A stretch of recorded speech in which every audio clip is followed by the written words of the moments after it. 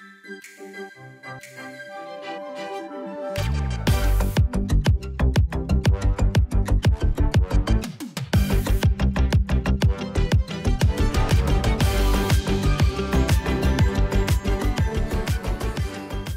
sam flautu još kao mala videla negde, tipa možda sam bila vrtić ili tako, na TV-u i šta znam, tu mi se svidelo, odmah sam tražila da sviram flautu.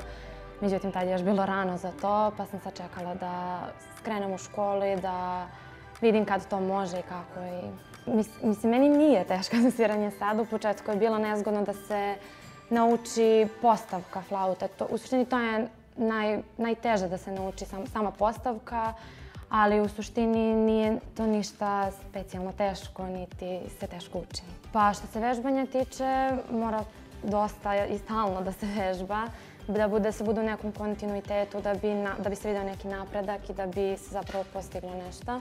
A što se tiče kompozicija, trenutno izvodim Mozarta i Prošle godine sam svirala uglavnom Baha i u suštini to su neke osnove koje mora da se nauče. To, osnovni stilovi koji mora da se nauče. Kad sviram solo, u principu tu sam sama najviše i najviše gledam kako će to da zvuči. Mislim, moram da se koncentrišem na sve da bude u globalu sa mnom ok i da se posle sklopim sa korepetitorem. Što se trija tiče, tu trebamo svo troje da radimo i da najviše nas troje vežbamo zajedno, koliko, ne toliko sami koliko zajedno. Kao.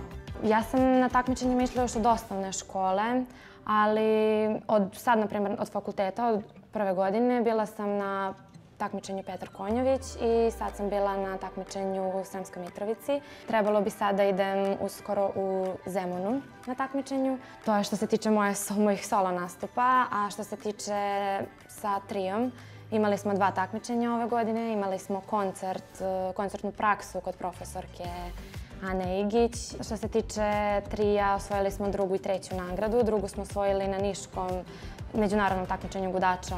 A što se tiče treće nagrade, to je u Beogradu na takmičenju Olivera Đorđević, koja je baš za kamernu muziku. Što se tiče mojih solo nastupa, tu sam na Petru Konjović osvojila prvu nagradu, kao i u Sremskoj Mitrovici.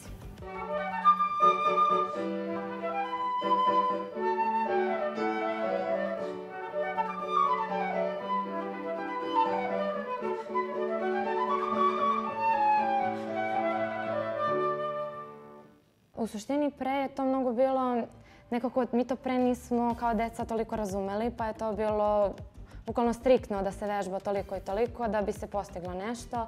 Dok sad, na primjer, na fakultetu ima određen period koliko bi trebalo da se vežba, otprilike 5-6 sati bi bilo sasvim dovoljno, ali je u suštini da to bude, da se to radi sa koncentracijom, a ne čisto da se samo prođe taj program. Prvo i najosnovnije je bitno disanje i kako se diše i ta tehnika disanja je u suštini najbitnija.